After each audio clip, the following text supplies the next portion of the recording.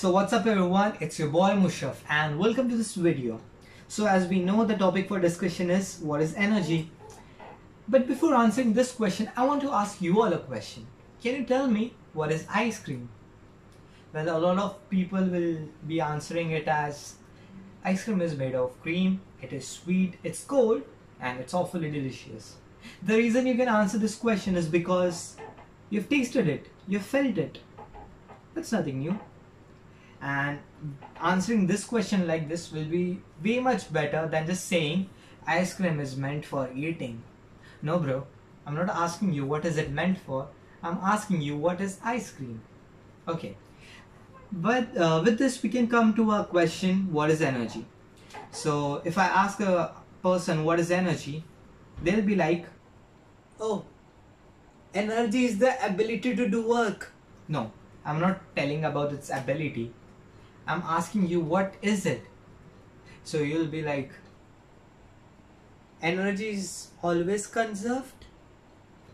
no, I'm not talking about its law. I want to know what energy is. Well, so basically we know what are laws of energy and what energy can do. For example, we know that the potential energy can be converted into kinetic energy. An example for this will be a stone falling from sky to the ground. And there are also different examples such as the conversion of mechanical energy into uh, electrical energy. And these are all just properties, but we don't really know how energy looks like or it, how it feels like. So let's dive a little deeper. Okay, so now let's take Einstein Baba into picture and his famous equation that is E equals mc square, where E is the energy, m is the mass, and c is the speed of light. So he somehow figured out a way to show how much amount of energy is stored in some amount of mass at rest. So with this formula, it is simply clear that anything that has mass will have energy. Okay, but that doesn't solve our problem to understanding what is energy. So now let's try and dig a little deeper. Now we'll enter a little bit of quantum mechanics. So we'll start by using a photon. So what's a photon? With, with its classical definition, it is nothing but small packets of energy. Well, does it bring closer to our question what is energy? It certainly does, and it's not that simple also. And a photon is nothing but a small fragment of electromagnetic wave. Wow, electromagnetic wave. But we'll try to understand what's a wave first. So, what's a wave?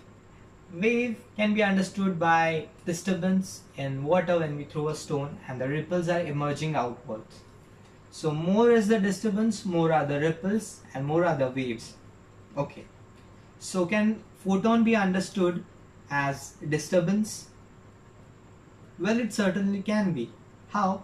We can use the formula E equals h mu, which was again proposed by Einstein, where E is the energy, h is the Planck's constant, and mu is the frequency of the electromagnetic wave. So higher is the frequency, higher is the energy.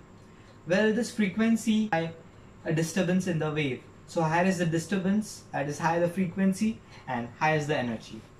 So we can just understand that it's clear that energy is nothing but disturbance. But what happens when matter comes into picture? Can matter have waves? Yes, certainly they do have waves. These are called as matter waves. So de Broglie stated that a moving body behaves in such ways that it shows some kind of wave nature.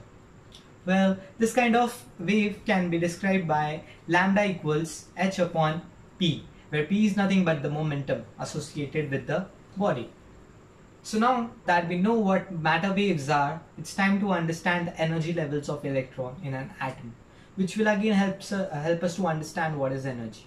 So Neil Bohr stated about the electron waves in an atom.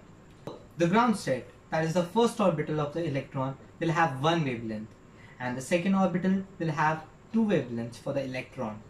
So as we go higher in energy levels, the number of uh, wavelengths for the electron keeps on increasing. Okay.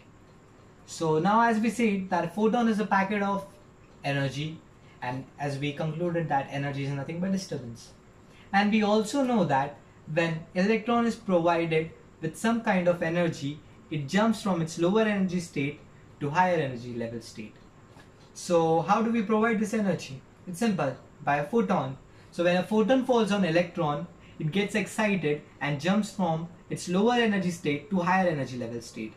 So this is called excitation. A photon has energy and energy is nothing but disturbance. So we are providing this disturbance to an electron which uh, actually increases the disturbance in the electron itself. So looking at the example of electron, we saw that how matter stores energy by vibrating and vibrations are nothing but disturbances. So I hope you understood the concept of energy in matter as well as in photon and hope you guys enjoyed this and if you have any doubts and let me know what you guys think down in the comments and it's your boy Mushraf here and peace out.